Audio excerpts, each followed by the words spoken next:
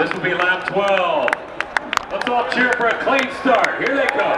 Let's get a restart. Green flag is out again. And we're racing.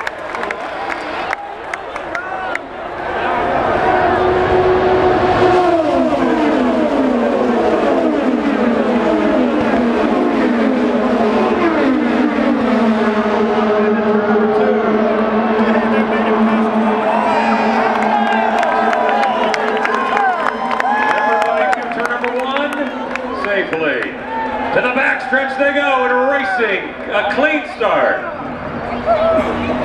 Can't believe they made it around. We just want one good lap. Like Tony Kanaan has moved to fourth position, we'll watch him cross the line. The charge begins.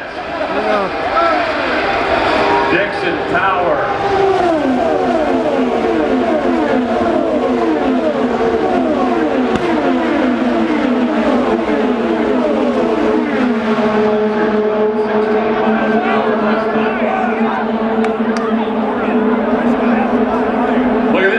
For second place. Pagenaud making a move. Pagenaud goes up to second. Dixon's still the leader. I Simon Pagenaud is also one of those guys had a strong, quiet month.